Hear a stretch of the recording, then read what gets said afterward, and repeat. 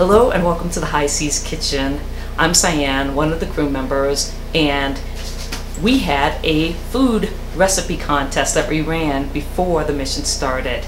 And so what I'm going to do is over the next four months, I'm going to cook some of these recipes with other crew members. So in a few moments, our commander, Angelo, is going to be joining me, and we're going to make our first recipe from our finalists. And that is going to be Tsampa. I've actually never made Tsampa or tried it before, but I'm really excited because um, it's an easy recipe to make and the people at the Great Himalaya Foods Company sent us this all the way to Hawaii so that we could make this dish. So let's take a look at the ingredients we're going to be using today. Well, we've got our Tsampa.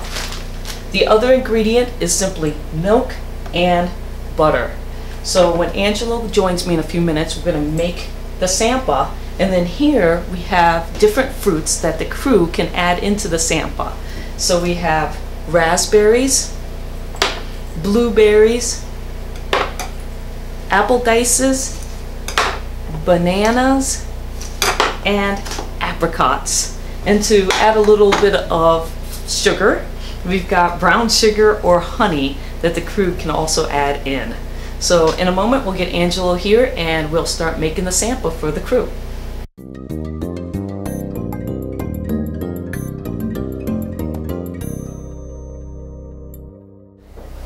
Today we're going to be making one of our recipe contest uh, entrants and it's called Tsampa. Have you ever had Tsampa before? No, never. It's, yeah, I've never had it either. It's Tibetan and it's a very popular breakfast food there.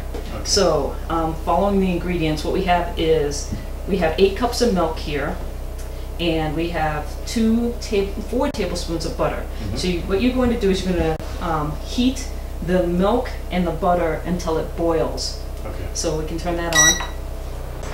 And so the interesting thing about Tsampa is that the process of making it is very labor intensive. It's a barley grain that is first washed, dried, then traditionally sand roasted.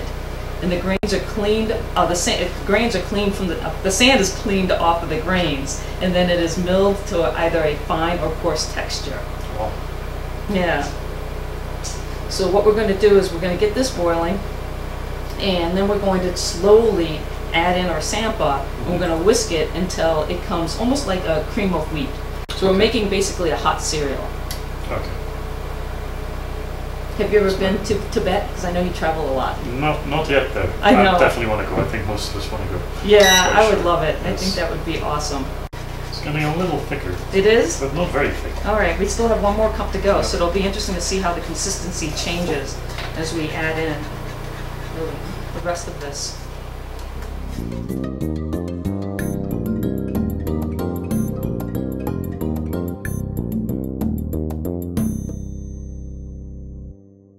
Okay, All right, it looks like we're ready to go. we're ready to go. Excellent.